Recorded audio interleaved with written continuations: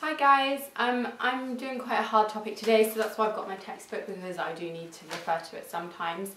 Um, I'm actually looking at biotechnology today so that will only be applicable to certain people out there studying certain exam boards.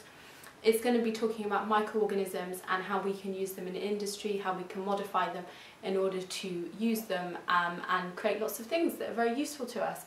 I've done a separate video on genetic engineering so if you're looking for the manufacture of insulin I'll link that there and that's the video you need to watch because what I'm going to be talking about more is fermentation, looking at manufacturing beer and also yogurt production, both of which are very complex things. So microorganisms, remember these are very, very tiny organisms and there's several different groups of them. First of all, you've got the Protoctista, I hope I'm saying that right, Prototists. And these are single cell organisms and they include things like amoeba. We've got fungi and the ones which you'll be familiar with are things like yeast, which we use to make our bread rise or we can use in fermentation to make alcohol. We have bacteria. Um, this isn't to do with um, biotechnology, but they may ask you in the exam for some examples of bacteria, so name anything like tuberculosis or salmonella or E. coli. If they ask you about viruses, you can give examples such as HIV and flu. Hey cat! Hi! Do you know that I don't like this topic? So you come to say hi? Look, there's the camera. Pouring face. Pop yourself on here for me. Oh, where was I? So key examples of viruses are HIV and the flu virus. Yeah, and that's really all I wanted to talk about. Now we can modify the the genes of these different organisms in order to get them to do things that we want them to do. So in the case of genetic engineering of insulin production, what you're doing is you're taking a human insulin gene, inserting it into a bacteria bacterial plasmid and basically getting it to do what you want it to do. Now, the thing about most of these microorganisms is that they work anaerobically, which means they don't require oxygen to respire. And then based on that, they'll produce different things. So if we add yeast, for example, to sugar, what you can produce is alcohol and CO2. Now carbon dioxide is used to make bread rise and the alcohol is obviously used to help manufacture our favourite spirits of wines and beers. Now what you find is most of these microorganisms are grown in fermenters. Where did the cat go? And they may ask you a few questions about the fermenters. So for example, if the bacteria do respire aerobically, they may ask you what the purpose of the air inlet is and you would say to allow oxygen in to allow the bacteria to respire aerobically. They may ask you what the role of the cooling jacket is and that's in order to maintain a perfect optimum temperature because remember the enzymes will denature inside these microorganisms if they're allowed to get too hot and if it gets too cold then you may find that they don't actually work effectively enough. They'll also have to control the pH. Why? Because again, if the enzymes um, reach a pH which is not their optimum, they may denature, which will alter their active site. So just be clear on the different conditions. Am I steaming up? Oh my goodness, it's so hot today. I mean, it's what? It's May and it's like, it feels like it's 30, 40 degrees. I know you probably think I'm crazy, but it feels very, very warm. So let's talk about beer making. Now, unlike wine, beer is made from barley. Now, barley does not contain sugar as its carbohydrate. Grapes do contain sugar, so therefore that sugar can directly be used by the yeast in order to ferment and produce alcohol. However, we need some extra steps involved with barley because its carbohydrate is starch. So first of all we get some barley seeds, they need to germinate because they've been dormant for a while, so you need to add water to them to allow them to germinate. At this point we're not interested in them anymore, so we actually kill them by heating them, but what the heat does is it doesn't actually denature the enzymes, so the enzymes are still good to go. We then add the enzyme amylase. Remember amylase breaks down starch, so that amylase will break down the starch into maltose or glucose depending on which one you're happier with. Then we add something called hops and what they do is they give the beer a very distinctive taste and what we need to do at that point is add yeast because that's our crucial microorganism which will actually produce the alcohol. So what the yeast does is it feeds upon the sugar and converts it into alcohol and CO2, carbon dioxide. Lastly, we centrifuge the beer, which means we spin it, we filter it to remove any impurities that we don't want, and we pasteurize it, which means we heat it a little bit to remove the microorganisms. This is hard, what a complicated topic. In the manufacture of yogurt, we are not using yeast anymore, we are using lactic acid bacteria because what we're doing is we're converting milk into that sour, thicker thing we know as yogurt. So first of all what you need to do is you need to grab the milk and you need to pasteurize it. And what that means is heat it so that it kills any bacteria which are present. So what they do is they heat it to 85 degrees for approximately 30 minutes in order to kill any pre-existing microbes. After that we do we homogenize the milk and what that means is it means distributing the fat droplets in the milk equally and evenly throughout the mixture. Then we cool the milk down to about 45 degrees and at this point we can add the bacterial culture which will actually cause the milk to convert itself into yogurt. 45 degrees we incubate that milk and what will happen in that case is the bacteria will digest some of the milk proteins and it will also convert the lactose which is the sugar found in milk into lactic acid giving it that distinctive sour taste. Lastly, we just cool that yogurt down further to about 5 degrees and then at this point we can start adding any of the flavourings which make yogurt so delicious unless you prefer it natural and then in that case it is done.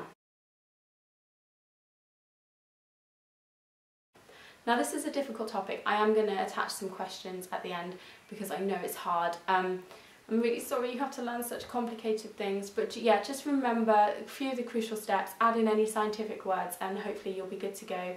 Don't forget to subscribe to my channel, like my video. I'm sorry if it wasn't as good as you wanted it to be, but this is hard to explain and I'm glad the cat made an appearance for once. See you very soon. Bye! Some food products are made using microorganisms. The table gives information about the production of two of these food products. Complete the table by giving the missing information. Right, okay, um, for the first row, my clues really here are that I've got glucose coming in, ethanol coming out, which is a type of alcohol, and actually the fact that I've been told that it's yeast is actually obviously really useful.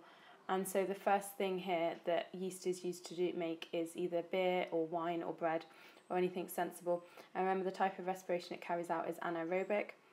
Next up we've got yogurt and we need the name of the organism used. Sorry, I probably should have mentioned this more specifically in my video. The name of the specific bacterium is the lactobacillus or you could have written streptococcus. This is very detailed.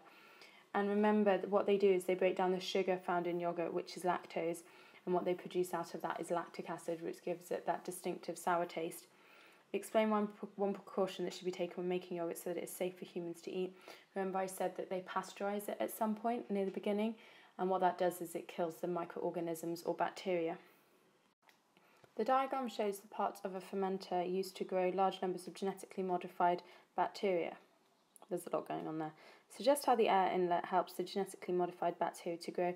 Well, let's think about the components of air. It Contains nitrogen. Well, that's a bit pointless. Oxygen.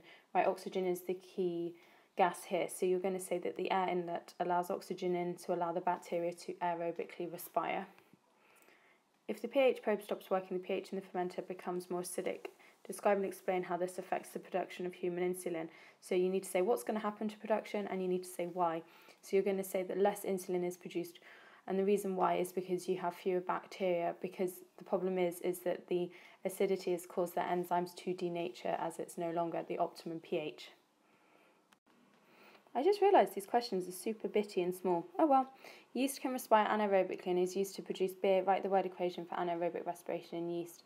So you need to write here glucose arrow um, produces alcohol plus carbon dioxide and that's all you need to write here. Describe a test you could use to identify the gas produced when yeast respires anaerobically. Gosh, we're dipping into chemistry here.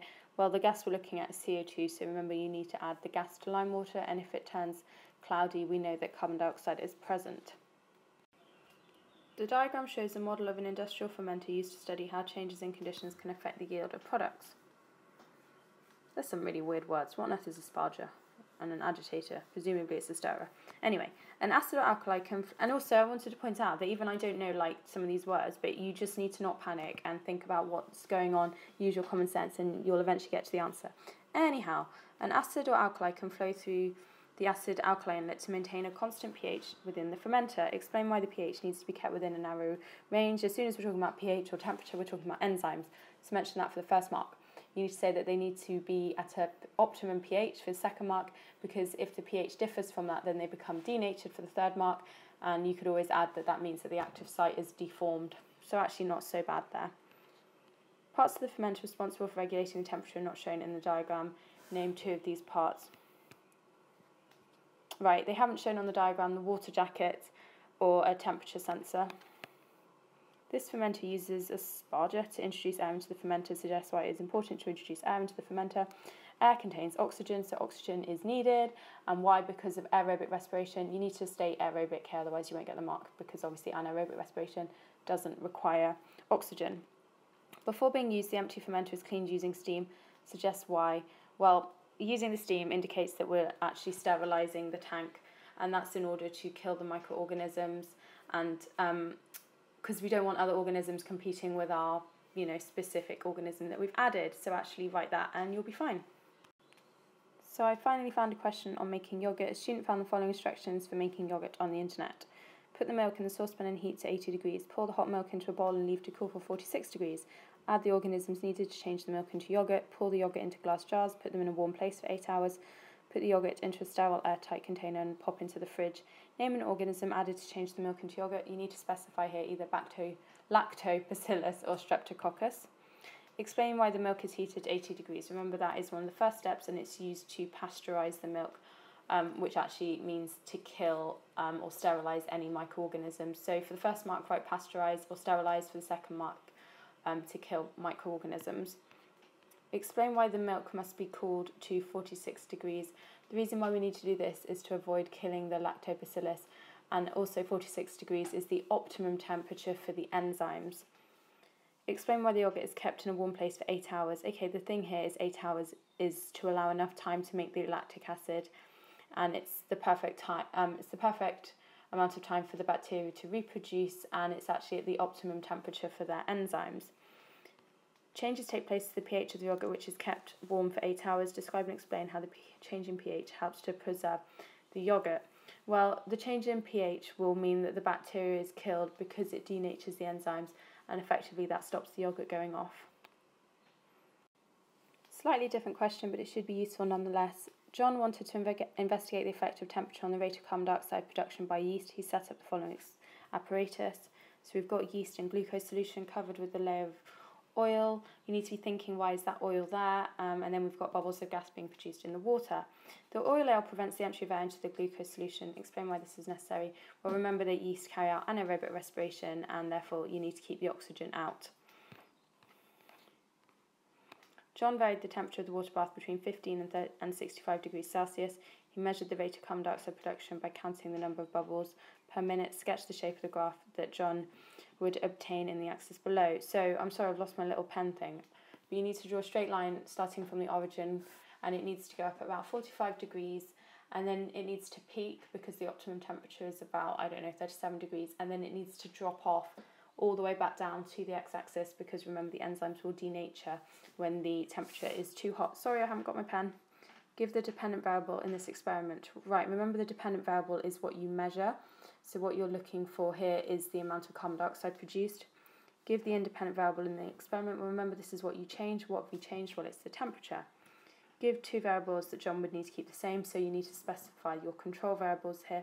So you could have said the volume of glucose, or the concentration of glucose, or the mass of yeast, or the type of yeast, or the pH of the solution. So lots of options. Suggest one way that John could improve the reliability of his experiment. Just write the word repeat here. Suggest how John could improve the accuracy of his measurement of the rate of carbon dioxide production. Right, rather than counting bubbles or anything like that, he should probably use a gas syringe or a measuring cylinder. Yeast is used to produce beer. Write the word equation for the respiration of yeast that occurs during the production of beer. So you need to write glucose arrow produces either ethanol or alcohol plus carbon dioxide. Hope you found this helpful. The questions are a bit weird. Um, definitely worth looking at past papers. Don't forget to like my video and subscribe. Bye.